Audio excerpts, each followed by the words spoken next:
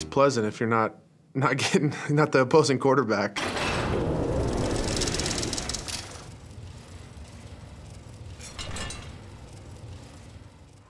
Everson Griffen, you've jumped 73 spots.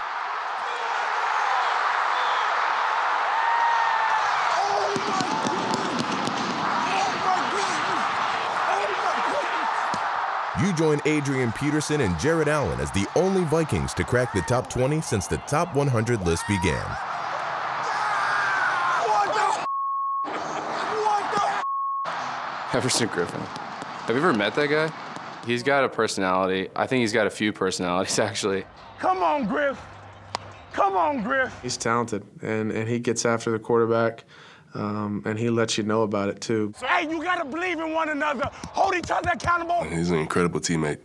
You know, he brings the, the oomph, boom, comes off the lines like an explosion. Crazy first step. There's a lot of people that can that can rush a passer, but his get off is, you know, especially especially in Minnesota that turf, it's not even fair.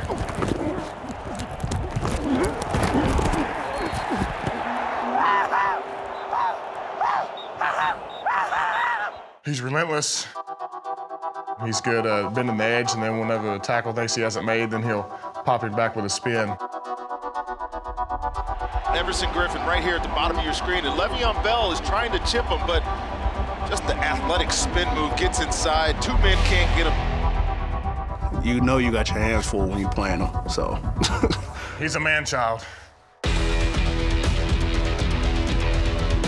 Griffen tied for fourth in the NFL with 13 sacks and was the most disruptive force on one of the best defenses in football.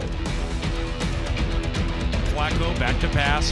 He's going to roll out to the right. It's a strip sack. So Everson Griffen comes up with another one, and that's just being tenacious.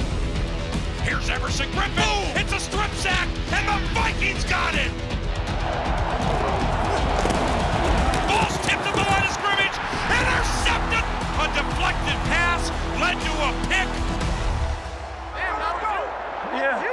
with your back turned.